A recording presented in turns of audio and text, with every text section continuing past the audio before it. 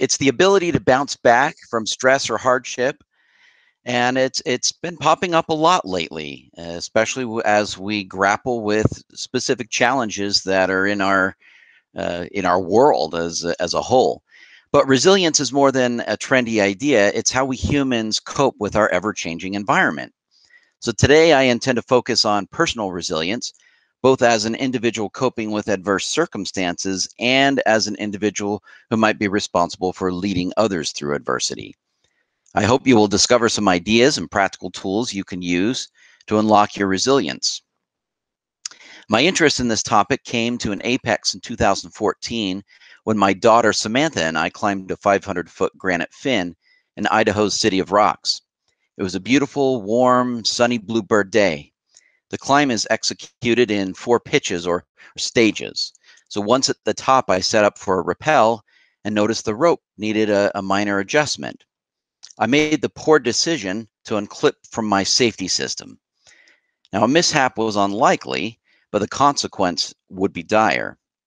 Unfortunately for me, I experienced the unlikely when my foot caught some loose pebbles.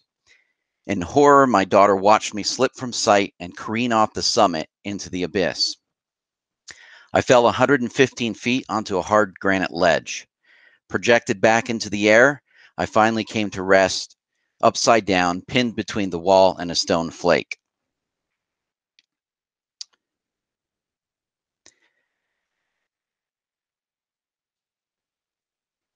So a rescue operation ensued over the next four hours deep into the darkness of night. Ambulances assembled at a base camp with a technical crew that climbed to my location. Life flight was ordered, and uh, worst of all, a National Guard utility chopper was on standby to retrieve my remains if I should perish. Over the next several weeks, there was a, a lot of time for reflection. I replayed the event in my mind again and again, what I should have or could have, what might have, and what ultimately did. I scoured my brain for clues and answers. How did I make such a foolish decision? Uh, did I fail or was I a failure? And what did it say about my future? This experience became a defining moment and fueled my affinity for the subject of resilience. You know, we spend our lives avoiding adversity or, or at least avoiding the pain. Yet we awkwardly fall down into the scarred years of conscious living, and most of us are able to get back up. But I wondered how. I learned that resilience requires living at the edge, learning to how to live fully, richly, consciously in the presence of the unknown. It means accepting the vulnerability that is our human endowment. So, what is resilience? Resilience is our ability to adapt to adversity, trauma, tragedy, and threats. And it won't prevent you from experiencing difficulty or distress, but it will give you an ability to see past them, find enjoyment in life, and better handle stress. Emotional pain and discouragement are normal for, pe- for people suffering adversity. In fact, the road to resilience is likely to involve considerable emotional distress.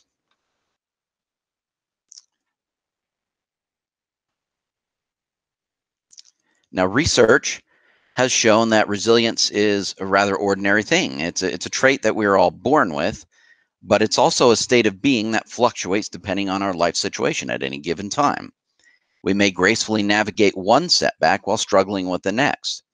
We can increase our capacity to spring to spring back from adversity by engaging in productive behaviors, thoughts, and actions that can be learned and practiced.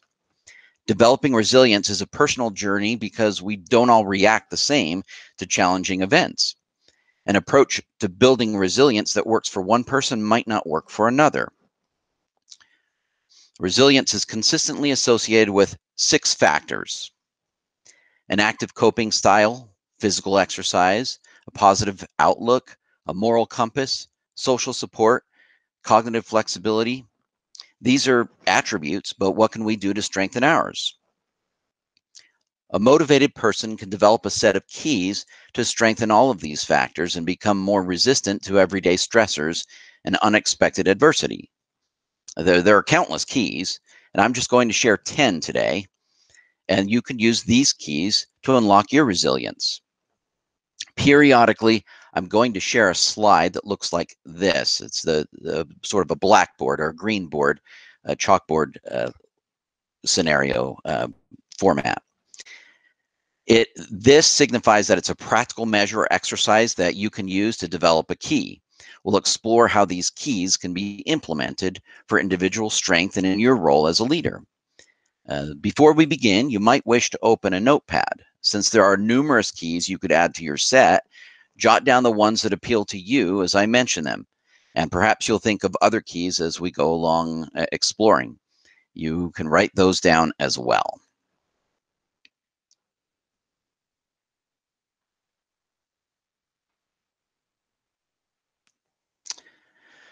The suggestions that I'm going to share today uh, come from a wealth of research and sources, including UC Berkeley's Greater Good Science Center, Forbes Coaches Council, and the American Psychological Association.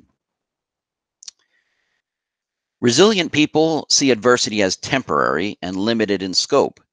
You can't change that highly stressful events happen, but you can change how you interpret and respond to them.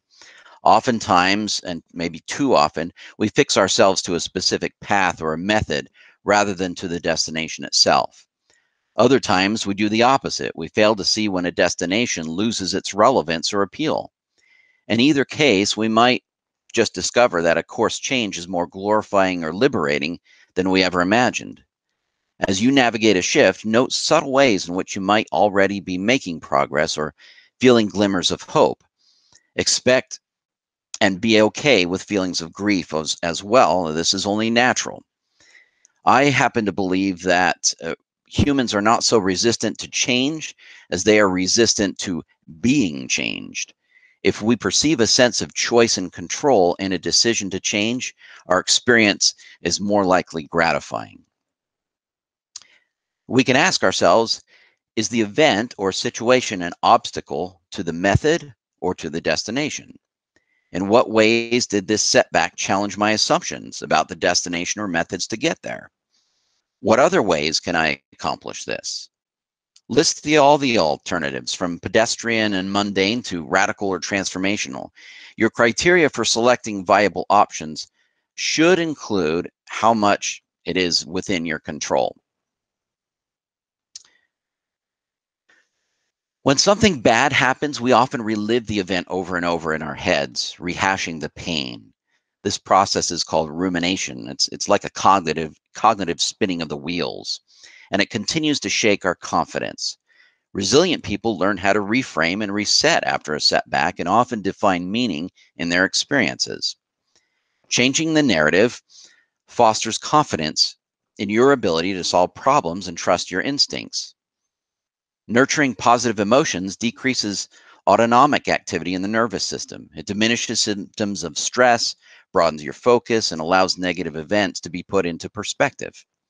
Leaders find that authentic narratives become powerful ways to acknowledge fears that naturally surface in times of crisis, while at the same time framing the opportunity that can be achieved if employees come together and commit to overcoming difficult challenges. Neuroimaging studies show that individuals who are able to reframe adversity have strong top down control of emotions. They can modify their reaction to stress and adversity. Leadership strategist Joyelle Crawford suggests four simple steps that help with this using the acronym RISE. R stands for reflect. Reflect on what happened. Dig deep and recognize the contributing factors that led to the challenge. I, identify what you want to have happen now and identify how the challenge you experienced helps you get there. S, strategize. Strategize an action plan. Things you can actually do that are within your control. What strengths did the challenge reveal and what might you need to change, correct, or improve? And finally, execute the plan. Finding meaning is vital to resilience. It, it, helps us craft the narrative we've just been talking about and helps us gain a sense of control. People often learn something about themselves and may find that they've grown in some respect as a result of adversity. Many people who have experienced tragedies and hardships have re- reported that afterward they feel be- they have better relationships, greater sense of strength, even while feeling vulnerable, an increased sense of self worth, and a heightened appreciation for life. Holocaust survival survivor uh, Viktor Frankl wrote of the importance of making meaning. Despite suffering for years in Nazi concentration camps, Frankl wrote that he gained the opportunity to exercise inner strength and be brave, dignified, and unselfish. He struggled to survive because he came to believe that his suffering had a purpose to live to teach others about his experience. An extensive study in 1988 revealed that participants who engage in expressive writing for four days were healthier six weeks later and happier up to even three months later. Writing specifically focused in this in this case, the activity that is suggested here specifically focuses on difficult experiences and the feelings surrounding them. It allows participants to be with and explore upsetting emotions. Upon reflection, participants found they naturally evolved into discovering important issues, patterns, and meaning in difficult experiences that resulted in positive perspectives and self motivation. Evidence suggests that undertaking and mastering difficult tasks is effective in increasing resilience. Successfully overcoming challenges improves self confidence and may actually alter the neurobiology of the stress response. We must avoid detaching from problems that we have to face. While a short break could be helpful, you will be better served by making and executing a plan to address them. The previous two keys are helpful once you've gained enough distance from the experience to get some perspective. Facing fear, however, is a present concern. The Greater Good Science Center suggests experimenting with small doses of a fear inducing activity in a safe context. Then repeat the activity until you start to fear, feel the fear dissipate. Gradually increase the challenge. You can continue to incrementally like, ratchet up the challenge until you reach your goal. Your fear may never be fully extinguished, but hopefully it will hold less power over you and not prevent you from achieving important goals. In the words of Mark Twain, courage is not the absence of fear, it is acting in spite of it. We know that continuous development is critical for growth. Reading the literature in your field, attending conferences, and continuing to hone your craft is very important. But stepping away from familiar sources to uh, read or experience something completely different may widen your perspective and help you gain new insights. Stepping beyond the familiar may prevent you from getting mired in the in the stale or conventional thinking that could have contributed to your present circumstances. Embrace something different, inspirational, something engage in an interesting new hobby. Get together with folks who think differently. Learn something you know little about or uh, simply experience something foreign to you or that makes you uncomfortably uncomfortable. Uh, purposely stepping away from comfort can give you a renewed focus and the boost to resilience that you're that you're looking for.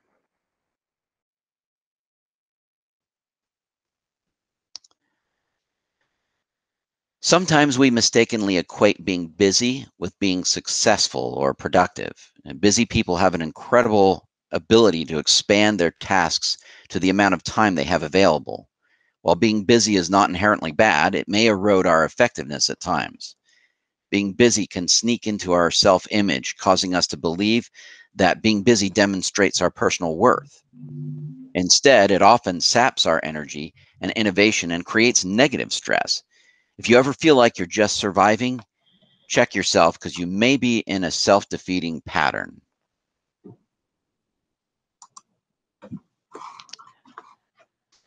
Jennifer Cohen of the Forbes Coaches Council suggests four steps to redirect this pattern and recharge productivity. Step one is focusing on one thing at a time. What is the one thing that will deliver you the most results first? Do that. Do you have multiple priorities? Chunk your time based on your goals and the tasks you need to get things done first. That way you can stay focused on one topic instead of bouncing around from one thing uh, to another all day long. Second, master your calendar. Dedicate un un uninterrupted time and build in breaks and buffers to recharge and address unexpected obstacles. Don't let time sucking activities like clearing your inbox rob your day. Third, think smaller. Break large goals into smaller objectives and tasks. And fourth, eliminate distractions. Establish a productive environment and communicate boundaries and availability ahead of time to those with whom you interact. Don't spread yourself too thin. The so called multitasking often leads to mistakes, hurried shortfalls, and undue stress.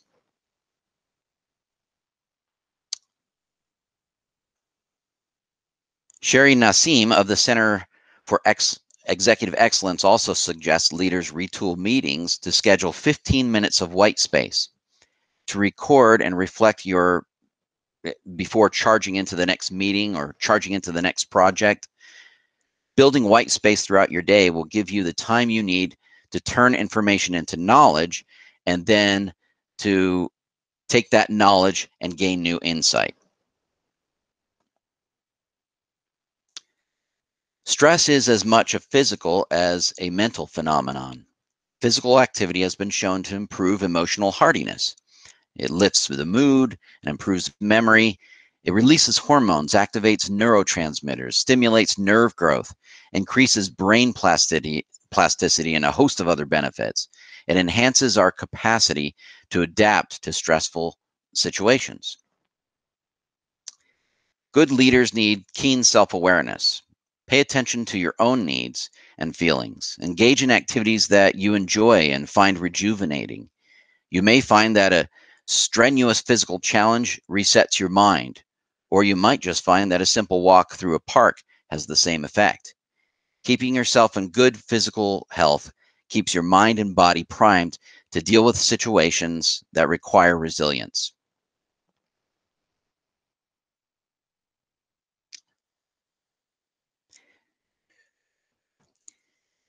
Individuals with strong social support tend to be more resilient than those without. Social support can encourage active coping, increase feelings of self worth, and help a person put problems into perspective. Don't overlook mentors, colleagues, or experts that will give you honest feedback with your best interest at heart.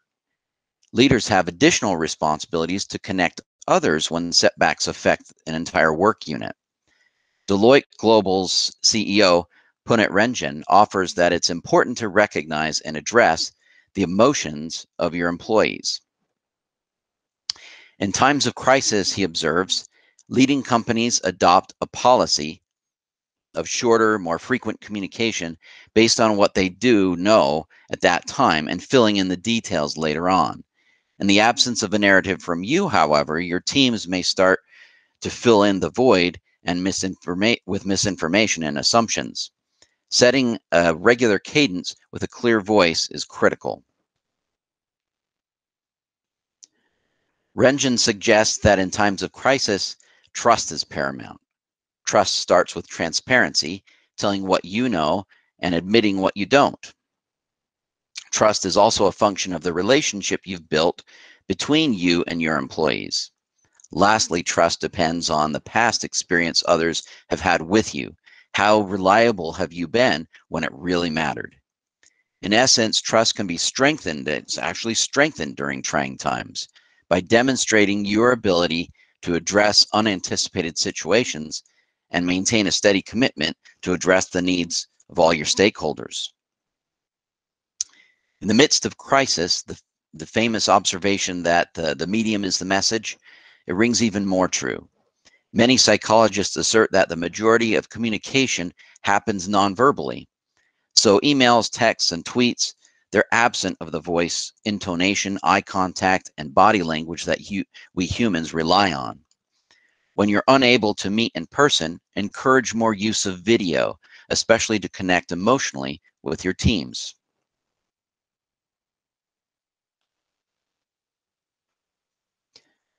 It turns out that your life is based on a true story. Your story is uniquely you, and the combination of challenges and obstacles you face are part of that story. You carry it with you wherever you go. Find courage to own your story for what it is. As alluded to before, our stories should not be poor me sagas or a polished list of excuses, but a series of noble lessons that have actually transformed us. When you share your lessons with others, you contribute to a better world. This might take some practice as it calls for us to be honest and to some extent vulnerable. It also requires us to experience compassion for ourselves. Leadership coach Deborah Goldstein suggests leaders who adopt the practice of self compassion will become more resilient.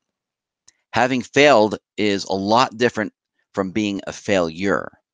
Self kindness carves out room for improvement and encourages the creativity needed for future success. It also provides a model to those that you lead that in order to ultimately succeed, you must take measured risks that sometimes just don't pan out.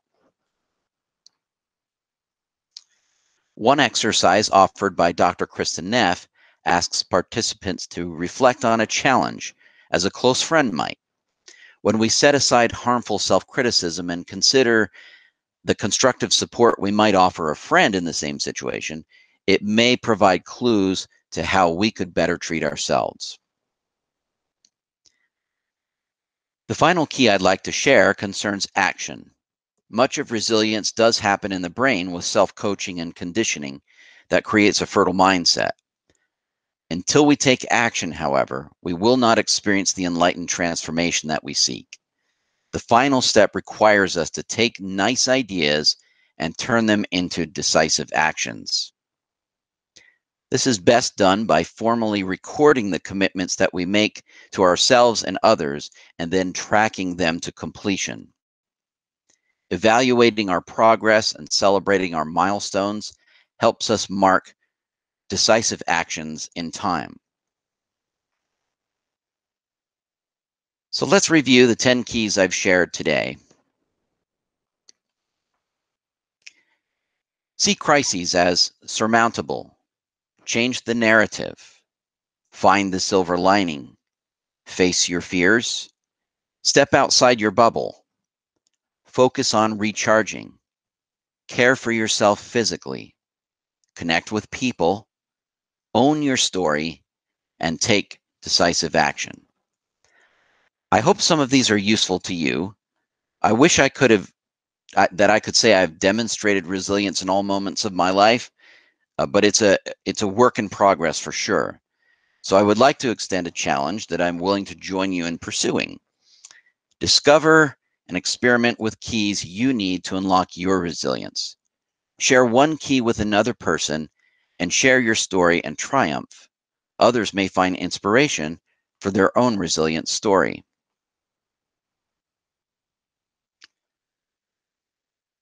So here's the conclusion to part of my story I shared at the beginning.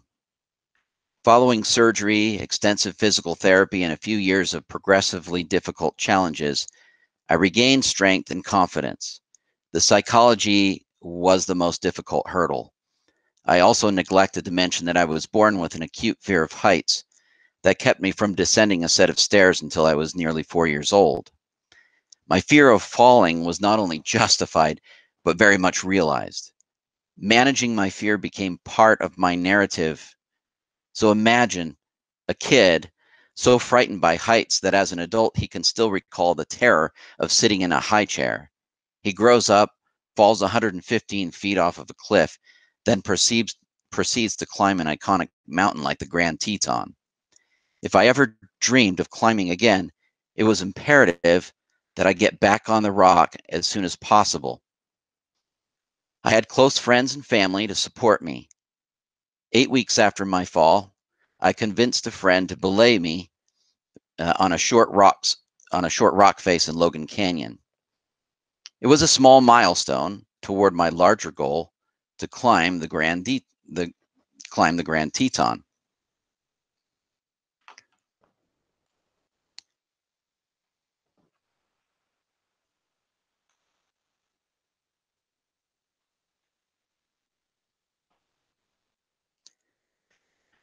So, accompanied by a, a, team of competent and trusted friends, I stepped onto the summit on an early August morning. The valley stretched out thousands of feet below. The crests of jagged pinnacles danced beneath. Um, it was a sort of metaphor for the adversity I had experienced to get there and the resilience I had worked hard to unlock. May you unlock your resilience, own your story, and live vigorously as an individual and as a leader in these tumultuous times. Thank you for your service to the people of Utah. I'm going to hand it back to Shane for any questions. And following the Q&A, I'll share a two and a half minute uh, video from the final 500 feet of the summit. Be sure to look for our announcement for Blink, Think, or Kitchen Sink how Leaders Make Effective Decisions, presented by Dan Chase on June 10th, and additional sessions of DHRM's Off the Shelf Leadership Series. Shane? All right. Everybody, thanks for your participation and everything. Um, just a few questions went through. Well, um, mostly one. A lot of people want to see this again, so we will send out a link most likely later today to where you can view it. Um, any other questions for JJ?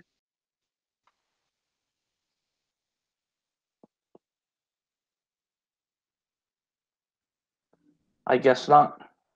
Okay.